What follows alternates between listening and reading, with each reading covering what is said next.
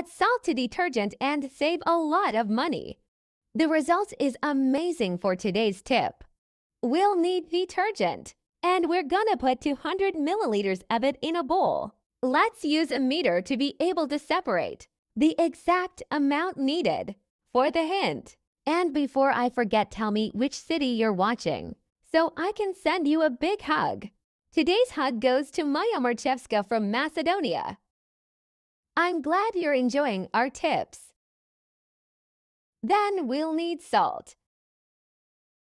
And we will add 2 tablespoons in the mixture. Do not worry about the amount of items used. This mixture will yield a lot just using a small amount. And let's mix the ingredients. After that, we'll need baking soda.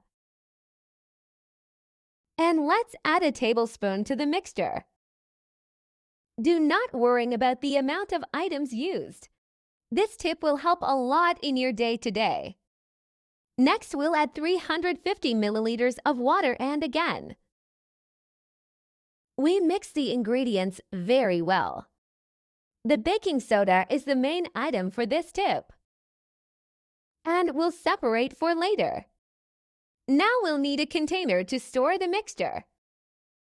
I will use a bottle of detergent to facilitate the use of the tip. Your family will. Thank you very much for making this tip. We will remove the lid from the container and support a funnel to transfer the mixture without dropping anything out. I bet you didn't even know about this method. It is widely used in rural areas. After that, we just need to insert the lid of the container again. To use the tip, I'm sure you will fully enjoy using this blend at a very low cost. Tell me later what you think of this tip. I hope it has the same result that I had in my house.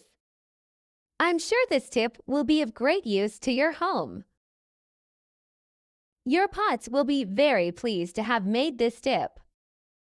This tip can be used to remove burns and fats that get stuck in the pan after frying.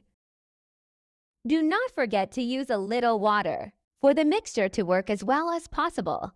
I use this tip whenever I see my pots getting dirtier. Thank you for watching this video so far.